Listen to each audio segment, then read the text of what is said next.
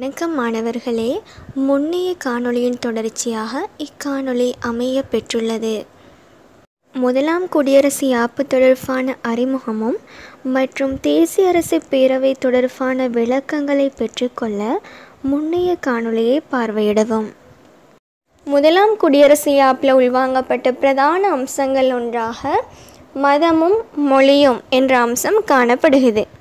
முதலாவது மதத்தை பற்றி பார்ப்போம்.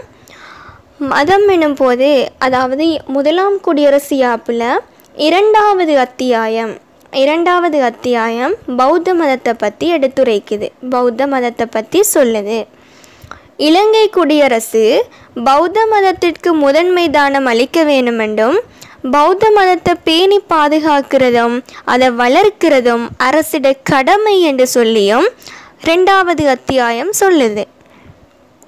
என்னது ரெண்டாவது அத்தியாயம் என்ன சொல்லுறென்றால் இலங்கை குடியரசு இலங்கை நாடு பௌத்த மதத்திற்கு முதன்மை தானம் அளிக்க வேண்டுமென்றும் அத்தோட பௌத்த மதத்தை பேணி பாதுகாக்கிறதும் பௌத்த மதத்தை வளர்த்தலும் அரசிட கடமை என்று சொல்லியும் சொல்லிக்கிறாங்க பல இன மக்கள் வாழ்ந்த ஒரு நாட்டில் தனியொரு மதத்திற்கு பல இன மக்கள் வாழ்ந்த ஒரு நாட்டில் ஒரு மதத்துக்கு மட்டும் முக்கியத்துவம் கொடுக்கிறதுன்றது குறைபாடுடையதாக காணப்படுகிறது. இரண்டாவது மொழி. மொழி எடுத்துக்கொண்டால் யாப்புட மூணாவது அத்தியாயம் மொழி சம்பந்தமாக எடுத்துரைக்குது. மொழி சம்பந்தமாக கூறப்பட்டிருக்குது. அதாவது சட்டவாக்க மொழி நிர்வாக மொழி நீதிமன்ற மொழி. சட்டவாக்க மொழி நிர்வாக மொழி நீதிமன்ற மொழி. இது எல்லாமே சிங்கள மொழியாக காணப்பட்டதோட அரச கரும மொழியாக சிங்கள மொழியை பிரகடனப்படுத்தப்பட்டது இந்த முதலாம் குடியரசு யாப்பில் அரச கரும மொழியாக கூட சிங்கள மொழியை பிரகடனப்படுத்தப்பட்டது பல மக்கள் வாழ்கிற பல இன மக்கள் வாழ்கிற பல மொழிகளை பேசக்கூடிய ஒரு நாட்டில் தனி ஒரு மொழிக்கு மட்டும் அதாவது சிங்கள மொழிக்கு மட்டும் முக்கியத்துவம் கொடுத்திருக்கிறதுன்றது குறைபாடுடையதாக காணப்படுகிறது. முதலாம் குடியரசு அரசியல் திட்டத்தில் உள்வாங்கப்பட்ட இன்னொரு பிரதான அம்சமாக மக்களிறைமை காணப்படுகிறது. முதலாம் குடியரசு யாப்பில் முதலாவது அத்தியாயம் மக்களிறைமை சம்பந்தமாக சொல்லுது. முதலாவது அத்தியாயம் மக்களிறைமை சம்பந்தமாக சொல்லுது. அதாவது இலங்கை சுதந்திரமும் இறைமையும் தன்னாதிக்கமும் கொண்ட குடியரசு அப்படின்னும் இலங்கை குடியரசு ஒற்றையாட்சி அரசு அப்படின்னும் முதலாவது இரண்டாவது உறுப்புரைகள் சொல்லுது.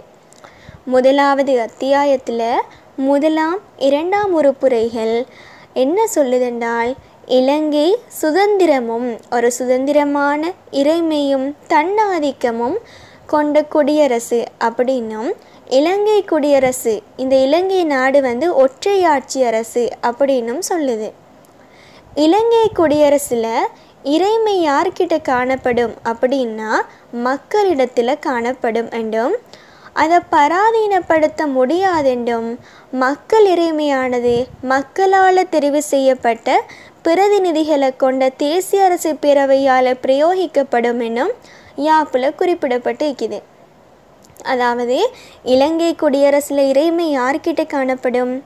மக்களிடத்தில் காணப்படும். அப்படின்னும் அந்த இறைமை என்ன செய்ய முடியாது? பராதீனப்படுத்த முடியாது. அப்படின்னும் அந் மக்கள்கிட்ட இருக்கிற அந்த இறைமையானது மக்களால் தெரிவு செய்யப்பட்ட பிரதிநிதிகளை கொண்ட தேசிய அரசு பேரவையால் பிரயோகிக்கப்படும். அப்படின்னும் யாப்பில் குறிப்பிடப்பட்டிருக்குது.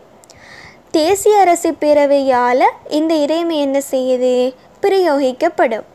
மக்கள் தான் தேசிய அரசு பேரவையில் வந்து பிரதிநிதிகளை தெரிவு செய்கிறாங்க அப்போ மக்களால் தெரிவு செய்யப்பட்ட பிரதிநிதிகளை கொண்ட தேசிய அரசு பேரவையால் இந்த இறைமை என்ன செய்யும்? பிரயோகிக்கப்படும் அப்படின்னு முதலாம் குடியரசு யாப்பில் சொல்லப்பட்டிருக்குது. முதலாம் குடியரசு யாப்பில் முதலாவது அத்தியாயம் முதலாம் இரண்டாம் உறுப்புரைகள் இது எல்லாத்தையும் சொல்லுது.